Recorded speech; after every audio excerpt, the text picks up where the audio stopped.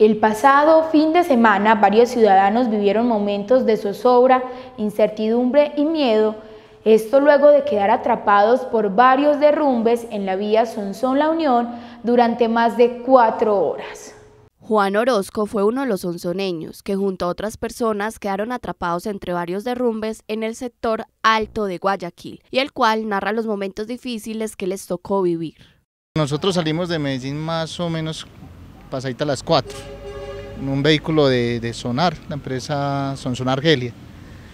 llegamos pues a la Unión, el tiempo estaba normal, no había, no había lluvia. Continuamos el trayecto, el torrencial aumenta, eh, siempre bastante fuerte, con relámpagos incluso. Ya comenzamos a descender por el Alto de Guayaquil y ahí es cuando empezamos a evidenciar varios derrumbes en la vía, derrumbes pequeños.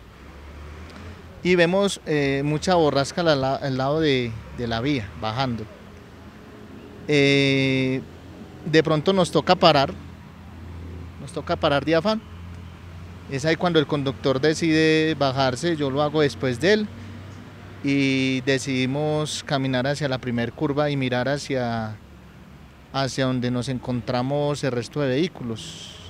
Ah, de lejos logramos ver un bus de Sotransoa que al parecer tenía de frente como, como un palo atravesado y lodo, como que le había alcanzado a dar. Eso alcanzamos a ver él y yo. Ya cuando nos volvimos, devolvimos hacia donde estaba el bus, fue cuando comenzamos a escuchar eh, gritos y un estruendo.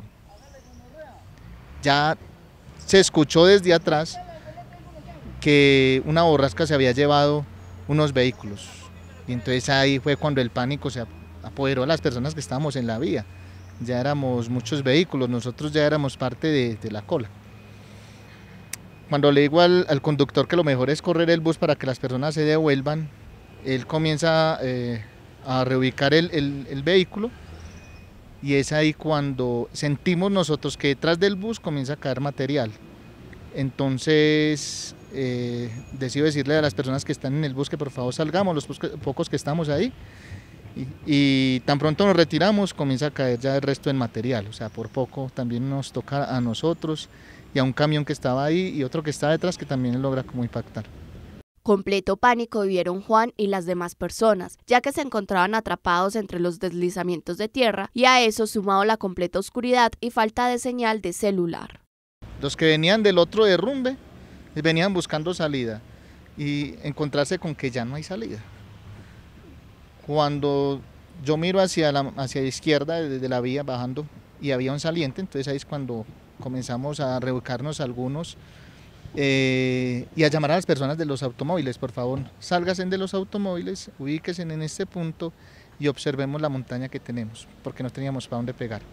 Y comenzar a mirar ah, por dónde podríamos salir corriendo si es que de pronto la montaña nos puede sepultar a los, que estamos ahí.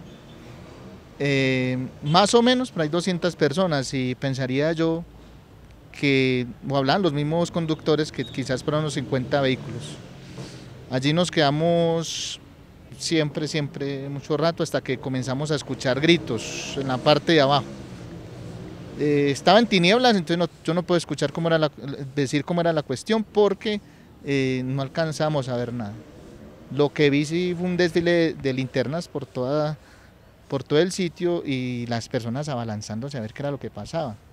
Eh, minutos más tarde nos dicen es que una de las camionetas que fue arrastrada llevaba dentro una familia y que el esposo pues logra sacar a su, a su esposa y algunas personas ayudar con los niños. Eso es lo que logramos darnos cuenta desde arriba. Lo mismo que de unas personas, de unos señores que venían en un camión.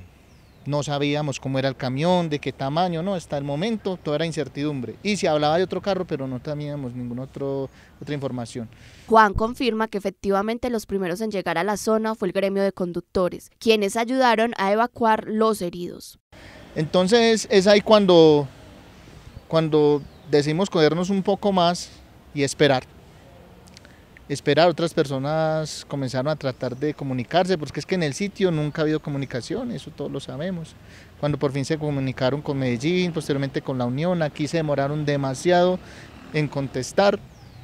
Eh, fueron más o menos cuatro horas. ¿Ustedes estuvieron ahí cuatro horas? Sí, nosotros estuvimos ahí cuatro horas en ese, en ese lugar y, sí, pues había mucha desesperación. Miramos hacia el fondo si de pronto veíamos vehículos llegando de Sonsón, los primeros que llegaron fueron los camioneros, el, gremio de conductores, eh, y ellos comenzaron a hacer movimiento por la parte de abajo y ayudar. Eh, yo digo que en tiempo récord lograron sacar a, las, a las personas que estaban puesta abajo. Y fue solo cuestión de un momento para que se sintiera otro estruendo abajo. ¿Qué fue? Vuelvo y le digo, no sé si fue material que se vino, fue el mismo camión que rodó más. Eh, otra vez la gente entró en pánico. Eh, posteriormente se logra tener contactos, llegan bomberos de, la Unión, hasta donde se creo que dos ambulancias y una camioneta, por lo que me contaban también los que estaban arriba del otro derrumbe. Eh, y de son nosotros escuchamos que también habían llegado bomberos, no sabemos cuántos, pero que habían llegado. Ellos hacen toda la exploración por la zona, finalmente suben hasta donde estaba todo el, número de, personas, el grupo grande, y ya nos dicen que hay que evacuar porque la zona es, es inestable, de hecho es peligrosa.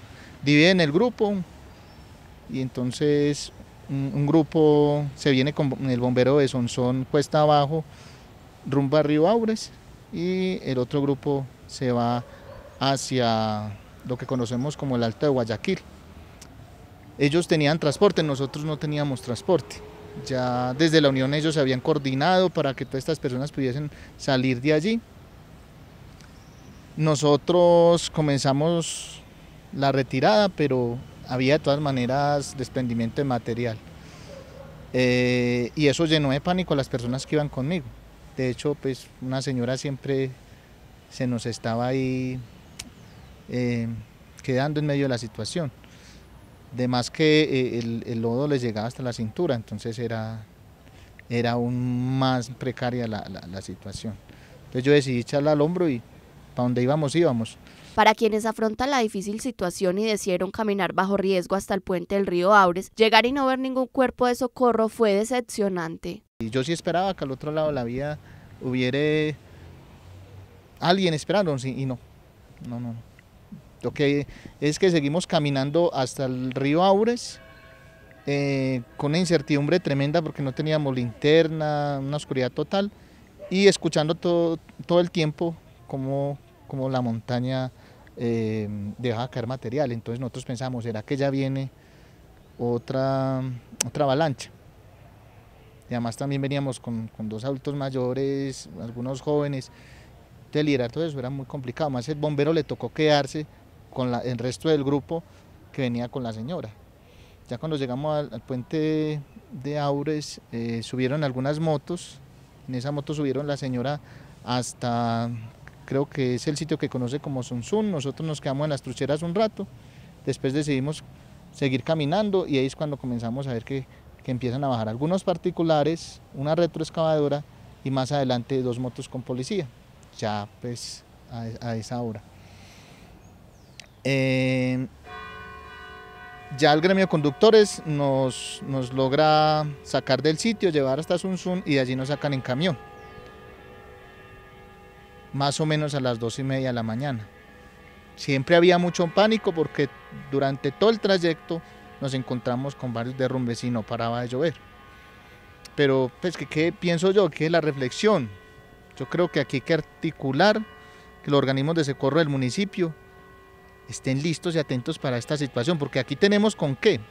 La cuestión hay que articularlos, porque como hoy fue una avalancha, fue un derrumbe, mañana puede ser otro tipo de situación y si no estamos articulados se puede presentar a mayores. Bueno, pues mire, yo, yo pensaba que para la situación que teníamos que la señora, al menos podríamos tener la esperanza de una ambulancia allí nos tocó subirla en una moto, con el peligro que subir a una persona en una crisis de esas en una moto.